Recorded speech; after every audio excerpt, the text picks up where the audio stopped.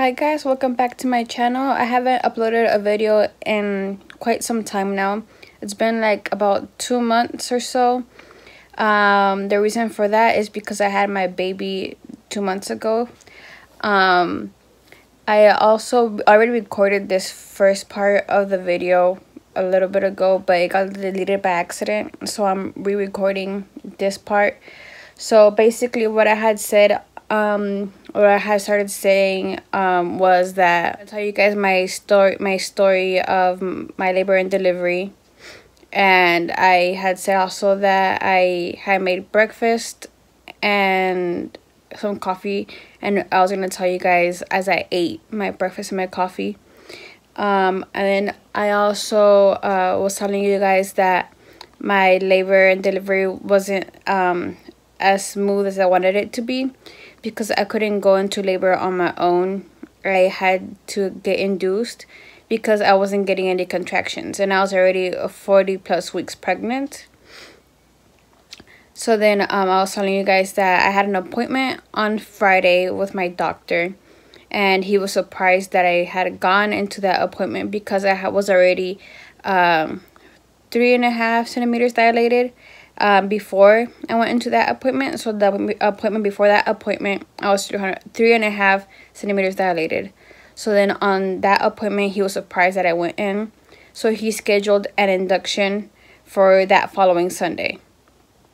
So then um, the appointment lady had said that it was more than likely that I wasn't going to get called in that Sunday, even though it was for that Sunday in the morning they said that it might take like another day because they usually like take a while to actually call you in for your appointment to get induced. So then um I said that it went the a whole day had gone by and like the whole Sunday had gone by and and they hadn't called me. And then the whole next day had gone by the next Monday and they still didn't call me. But like in the meantime i was actually trying to call them and i kept calling them and asking them if they had any room available yet for me or not. And they kept saying that, that they didn't. And um, the following uh, day on tuesday um, his mom wanted to go to the doctor and go in. So i think that's why i left off um, the rest of the video. So I'll just let the past me continue telling you the story. Okay, so back to what I was saying. Now that my baby's here in his little PJs. We're very, you know, PJ dressed today. Okay, so back to what I was saying. Um, my uh, husband's mother uh, called us early in the morning, like it was like 5 in the morning. And then she said, oh, we should go into the hospital and wait there. You know, like I'm sure they'll call us today, you know. So we go to the hospital and we we ask, we tell them we let them know that we're, that we're there at the hospital waiting, and the the nurse tells me, well, it doesn't matter if you're here. Basically, you know, like says it nicer, but like she basically says it doesn't matter from there. They're still gonna call me whenever they're gonna call me. So then um, she says, but if you wanna wait, you can wait there, you know. But it's probably more comfortable for you to wait at your house. So then um, we're waiting in the lobby. Oh my god, we wait there for like three hours and um, his mom still wanted to stay there longer. Like I was like, okay, I'm tired of being here. I want to go home and sleep, you know. And um, so basically, she she says, okay, fine. You know, we finally go home. Actually, we go to her house. We go to her house and we continue to wait there. And um, yeah, so we continue to wait at her house. And then um, finally, like around, um, like I think it was like nine thirty yeah, it was like 9.30. I finally got a call. It was 9.30 p.m. It was 9.30 p.m. on a Tuesday. And I finally got a call from the hospital. And they finally tell me, like, oh, um, we have a room. We have a bed ready for you. Uh, how long do you think it'll take you to get here? So then I was like, about 30 minutes. I live 30 minutes away from the hospital. So then they're like, okay, that's perfect. So then um, I, I tell my husband, okay, let's go. Um, and the the mom his mom and his dad took forever to like get ready. Like they really wanted to go with us. So basically they took forever to get ready. We got there like um like around 10 11 or so, or so. So then i'm gonna get to the hospital. I tell them that i'm there for the room. They helped me fill up some paperwork, and I ended up going into the room into like into the room that they had waiting for me till like around eleven. So at eleven, they have me sitting sitting in the room, and the the nurse comes and she tells me like, oh, to get undressed. She gives me like the little nightgown thing, the hospital gown, and she gives it to she gives it to me. I get undressed. I um. I remember feeling really awkward, so I went to get to change into the restroom. So um, I changed in the restroom. Oh, I felt awkward because his mom was in the room. Like she was not leaving at all. Like she just wanted to be in that room like the entire time. Like she did not give us any privacy at all. So I went to go change in the room because she was there. You know. um, uh, so she was in the room, and she was not leaving. So then I went to go change in the restroom, and then after I came out, I uh, I sat on the bed, waited for my nurse to come back and then uh, my nurse told me that she was gonna inject, uh, not inject, but she was gonna uh, set up the IV into my uh, hand, and then uh, another nurse was setting up the like the the what's it called the, the the readers to read like my contractions and read his pulse. So afterwards, I maybe have so much hiccups. He's moving the whole camera. so uh, they set up the readers and everything. And so then my my nurse, my overnight nurse, was and then she asked me like, why was I gonna get induced? And I told her that that's because I wasn't going into labor on my own. So then she said, oh okay. So then she starts to like prepare everything to have the IV um, give me like the medicine so I could go into labor and start having contractions, right? And then um, as she's like setting that up on her computer, she looks at the monitor and she and she asks me like, "Do you not feel that?" And I was like, "What am I supposed to be feeling? I don't feel anything." And then she was like, "You're having a contraction right now, honey." And I was like, "Seriously?" And then she was like, "Yeah." And then I I was like, "So that's how that feels." Like I have not I have not known what it feels like. So so basically, to me, it just felt like I had to use the restroom, like number two, you know, like really bad. But like like that pain that you get when you have to go number two and, and you just need to go. That's what I have been feeling this entire time. Like I hadn't felt like actual pain, you know, um, the entire time. So I didn't know those were contractions. So um, so then she proceeds to like hook me up to the machine and stuff. So then um, uh, afterwards, uh, my husband's mom she leaves real quick to my husband's dad wanted uh, a coffee or something. So they, they go to go get a coffee, and when they come back, um, it's only her this time. So the husband left, like he went home to sleep, and the mom stayed. So my mother in law stayed. And then she tells me jokingly, like, oh, me and your father in law have a bet going on to see how long you'll last uh, without epidural. Like, we want to see if you'll cry, right? And so then I was like thinking, like, I don't think I'm going to cry, you know? So then she, she's like, "We'll see." Like she pretty much was saying, "Oh, she was the one that was that thought I was gonna cry," and my father-in-law said that I wasn't gonna cry. You know. So then um, I was like, I don't think I'm gonna cry. Like if I, haven't felt my contractions up to now, I don't think I'm gonna cry. So then anyway, um, the my nurse was gonna be coming in every single thirty minutes to check on me and to up the dose for the um, contraction medicine. I don't know what it's called. I forgot what it's called. Um, so she was gonna be coming in every she was gonna be coming in every thirty minutes to up that dose.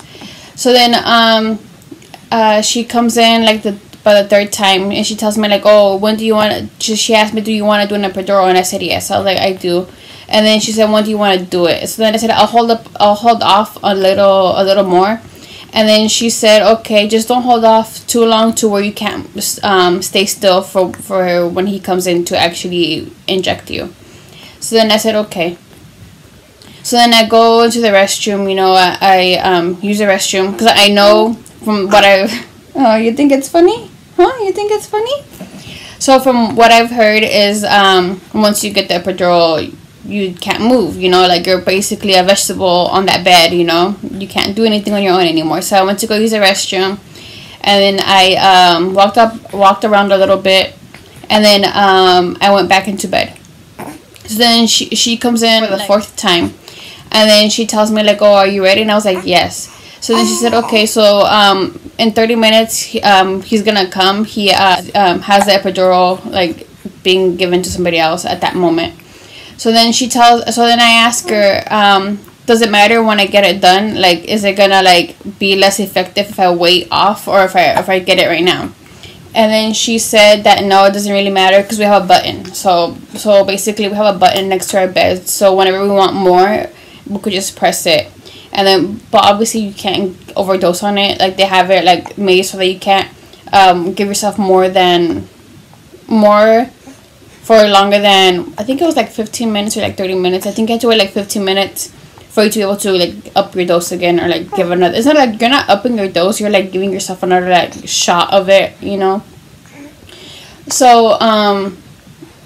So yeah, so she tells me that. So, I was like, so then I said okay. So then I said that um she comes in the fifth time, and by by the fifth time she says, oh um. Okay, we're ready for you. You know. So then um he's gonna come in and he's gonna uh, give you the epidural and um, I was like ready. Oh, this entire time I was not feeling any pain.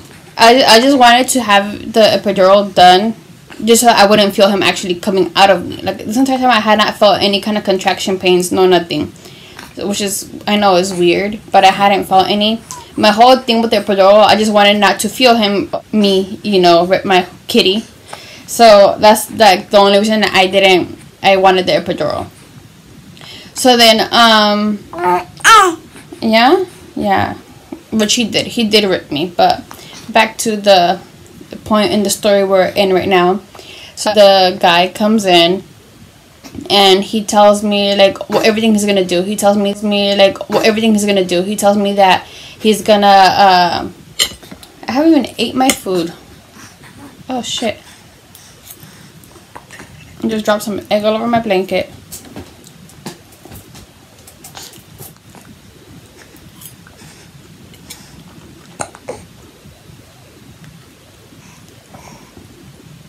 I'm not even eating my food.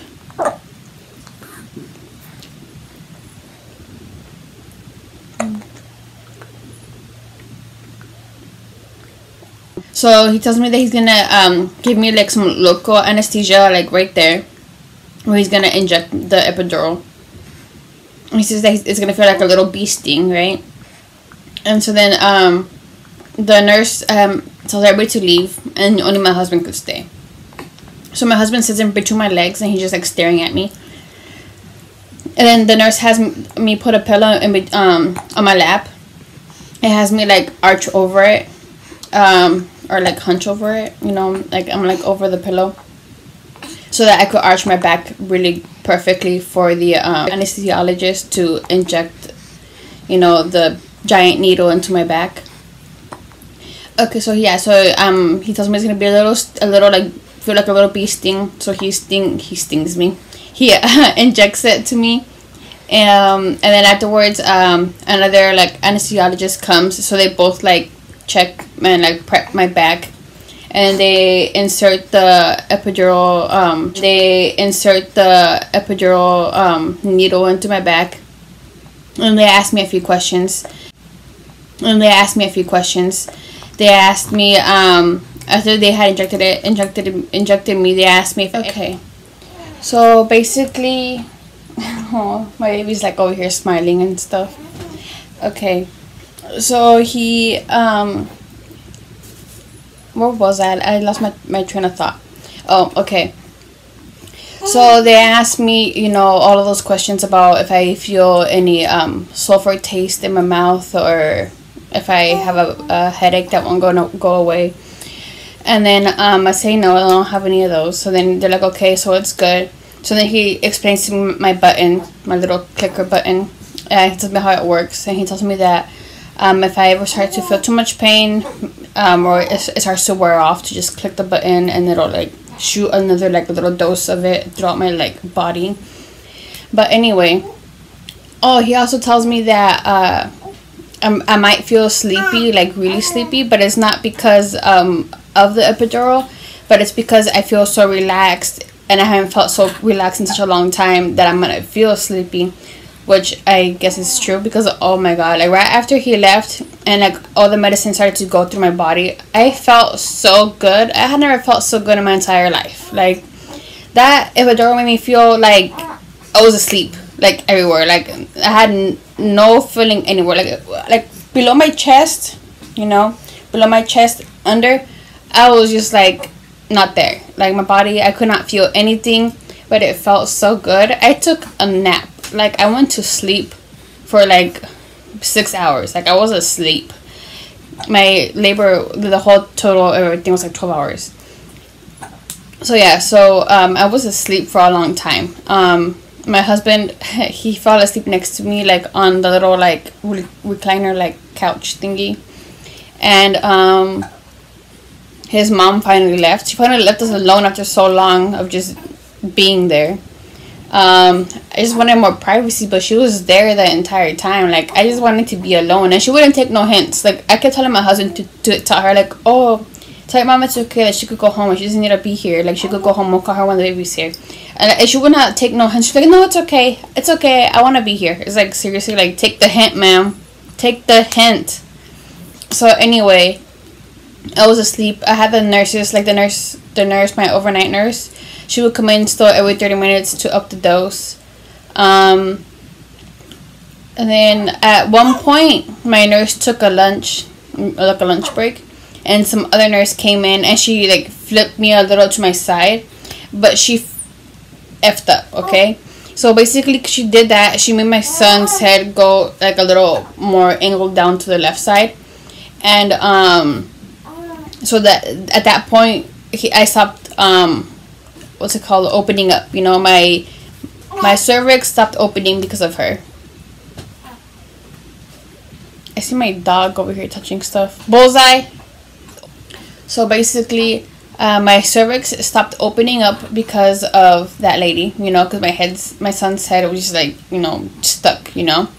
Anyway um i think like maybe like an hour later uh because i was already like pretty late. Like, no, like maybe like two hours later, my nurse comes back. Um, like my overnight nurse. Oh, by the way, I loved her so much. She was like the, be- the best nurse I had ever like dealt with in my entire life. She was amazing, and she was so nice. But um, yeah, so she comes back. She comes back to tell me that her shift is over. So my new nurse is gonna be this other lady, right? Uh, I did not like her at first. She was so rough and aggressive with everything, you know? Like, like okay, like since I couldn't move on my own because I was like numb, like like I was just a vegetable laying on that bed. I couldn't move on my own. She would expect me expect me to move my legs on my own. Like she would tell me like, oh, roll over. Like okay, I'm gonna roll over on my own. Like help me. Like my other overnight nurse, she would like help me roll over whenever she needed me to roll over. She would like push my legs, you know, and I would just like roll over my my upper body, you know. No, this lady was like roll over. Like I was like seriously, like um, me, I'm gonna roll over on my own. Okay. So then, um, so then I kept telling her like I can't, like I can't move my legs. So then she she finally like was like okay, so she would like help me, but it's like seriously, like, I have to keep telling you every single time that I can't move my legs. So then, um, so yeah, so my my overnight nurse left. I was stuck with this lady. So then she checks my cervix, you know, because they have to check it like I think like every three hours. They don't check it that often because um they don't want to give you an infection, you know. So then she checks my cervix and sees and checks how dilated it is. But then she notices that my son's head is, you know, not in the right spot. So then she gets like a little worried. So then she goes and asks um like another nurse to check me, and they realize that yeah, my head, my son's head is like a little to the left. So then they start moving me. So then they put like this ball between my legs, and they flip me to the other side, and then like for an hour and then again to the other side for another hour. And at one point, um, they actually had me on my left side for way too long. I, I could start I started feeling everything on my left side like, and at this point the contractions were actually really strong because I was already it had already been like maybe like nine hours or like yeah like about nine or ten hours already since like I had been there. So at this point I could I could feel everything on my left side. And then um, the nurse comes and checks me again and she and she sees that I'm like more dilated. Um, they pop my uh, the water the water bag that my son's in. They open it um, and then they uh, tell me that he, that I'm already like more dilated that everything's okay. And then I remember how, how dilated I was. I think I was like around like eight maybe. Yeah, I think I was like eight centimeters dilated. So then um, they still have me on my left side and I'm and I could still feel everything. So then like an hour another hour passes and they finally put me on um, my right side. And then um, like the, the, not even like 30 minutes pass and then they switch me back to my left side. So then um, it's been like another hour and the nurse finally comes and checks me and she sees that my son's head is perfectly centered now I don't know why I'm doing this with my with my face. That's mm, no. Okay, so so they check my son's perfectly centered in the little hole in my uterus. You know, not my my my cervix. He's centered in my cervix. Okay, so um. My food's like over here getting cold because I keep forgetting that I have food. Hmm.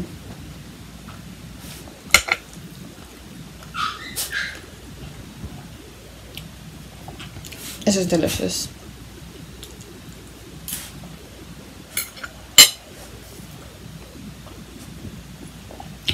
Y'all ever need a chef? Call me. I'm good at making eggs. I'm good at making eggs and toast. Mm. Okay.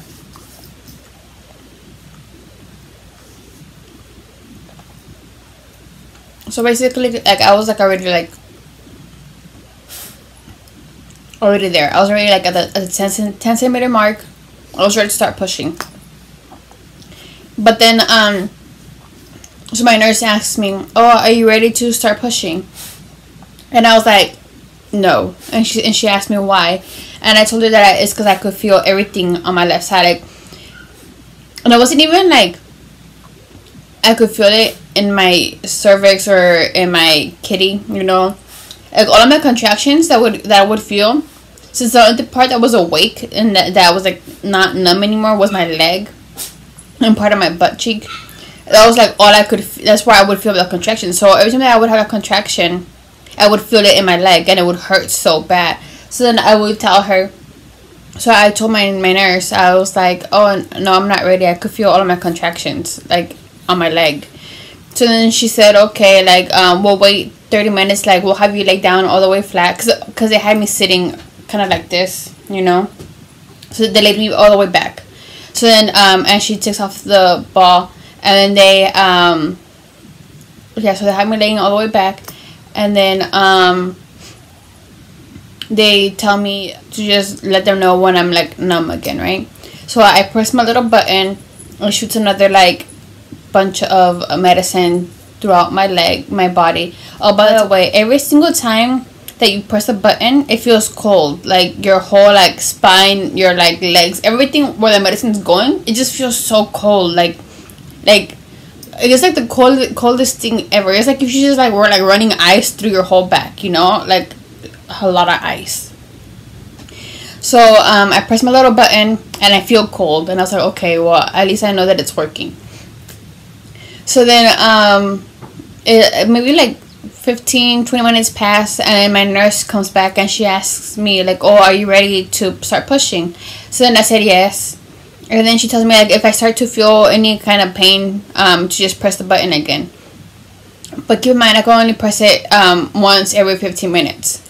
So then, um, they they start prepping me. My nurse, she she has um her like a little follower, like learner apprentice with her, you know. So then I was like, okay, well that one's that one person's okay. But then she comes and tells me like, oh, can these other two people come and see you give birth, you know? So then I was like, okay, you know. So then they um they're there, you know, observing. And oh, by the way, my husband's mother has not left, and I didn't want her there. Like you know, I had made it specifically like clear and I had told my husband that when I'm gonna start pushing to have this baby, I want your mom out. You know, like I don't want her here. So he like again tells her nicely, and she's like, "No, it's okay. I'll stay." Like, like seriously, like, do you not get what I'm trying to tell you here? Like seriously. So then uh, she stays, you know. And then um, she's like t- talking me through it, like, you know, just like, like, uh, I kind of don't want you here, but fine. So then um, my nurse, uh, she's like, okay, are you ready? And I was, and I told her, yes, I'm ready. So then she walks me through the pushing, you know, she tells me to, um, so on, on every contraction, um, I have to breathe in really deeply and then uh, like hold in my my breath that I held in and push. And then um, as I'm like pushing to exhale out my my deep breath. And we do that for a count of three seconds, I think it was. No, a count of 10 seconds, three times throughout a, through one contraction. So um, I ended up only pushing for like 20 minutes. And um, it was pretty fast, you know. I pushed for 20 minutes. The the two nurses that came in to like observe, they were holding my my legs back and um, were like pushing them back. And then um, my husband's mother, uh, my mother-in-law, she was pushing my my back forward. So um, so I would take like a little break between each push, you know, like they would like go and then I would like lay down and then they would push me again and I would start pushing. Um, the nurse, even though I didn't like her, she was actually really good at talking me through like the actual pushing. Like she was like really good. Like she was like she made it so easy for me to like push my baby out because she was so good at talking it through. Oh, and then also my epidural started to wear off, uh, because they messed up. Like it was so good but like it started to wear off a little bit. Like I wasn't feeling pain, like a lot of pain, but I, I could still like feel like I basically started to feel when my son was actually like on the outer rim of my canal. Um, click the button anymore. I guess I had used maybe too much and I couldn't click the button anymore for like a while. So then I had to wait uh, till my son was out. When, when he was finally out, I was able to click the button again. Uh, the after my son was like basically out of my canal. Um, the nurse calls the doctor, and the doctor comes in, and he's the one that talks to talks you through the last like few pushes. You know, like like the last like one one or two pushes. He's the one that talks you through them. So um, yeah, so I needed like one more push, and then um, one or I needed two more pushes. So the doctor comes in, and then he uh, tells me to push one more time, and then he's like almost out. So then I push another time, and then he comes out. You know, and like when he comes out, you feel so relieved. Like I felt so relieved when he was actually out.